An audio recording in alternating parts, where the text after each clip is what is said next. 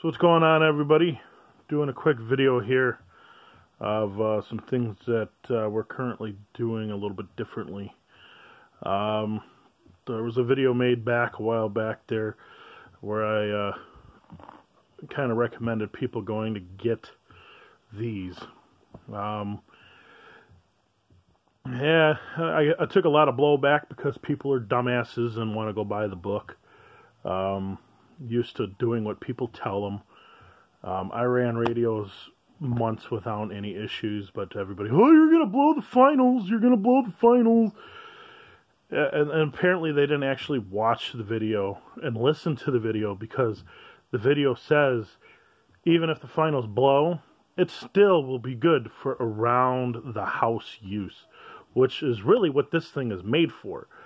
Um, but I like to leave the door open for people to explore and and and uh, be able to.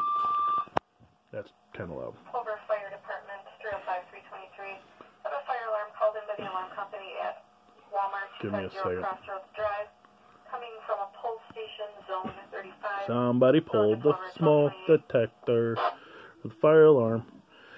All right. So, anyways, um, so a lot of people gave me a lot of shit in that video, and I, I've dealt with enough bullshit from people from even when I first started.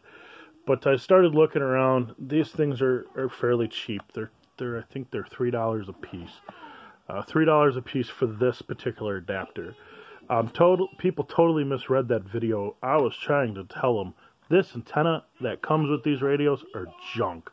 They are particularly just trash. They're pointless. Um, you get yourself an aftermarket antenna and you'll probably do a hell of a lot better, um, even being connected right to it. But anyways, what I decided to do um, was started purchasing these cables. These are three bucks, um, and uh, they will come with either this type or it will run up to this. Uh, that it will be a cable that will run to the uh, SO or PL, whatever the fuck they want to call this nowadays.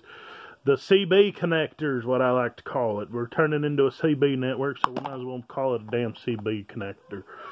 All right. So, anyways, uh, we'll have on the website. Will be updated once these come in, uh, and the prices will be a little bit higher because of fancy stuff that people want added to the shit.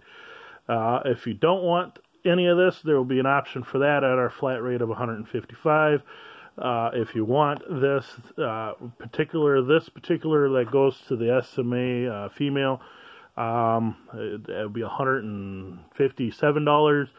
And I think for the one that pins tails up to this, I think is $4. So it would be a hundred, well, seven, eight. So sorry, $108 or $58 for for this particular one and for this one, uh, I think it would be like 159, 160, something like that. So uh, the the website will be updated accordingly for that. Uh, we are trying to uh, work hard on getting the basics of this stuff together um, and get a little bit of an inventory going before we open up the list. Um, I have told a lot of people in the past um, that have asked if the list is uh, open uh, to be paying attention to our YouTube videos or Facebook or website.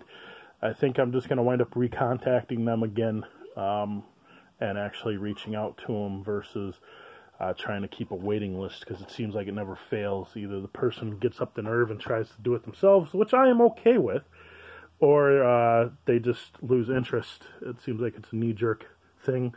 Um, but, anyways, yeah, it's uh, coming together. I think this is the final build here that looks just kind of nice.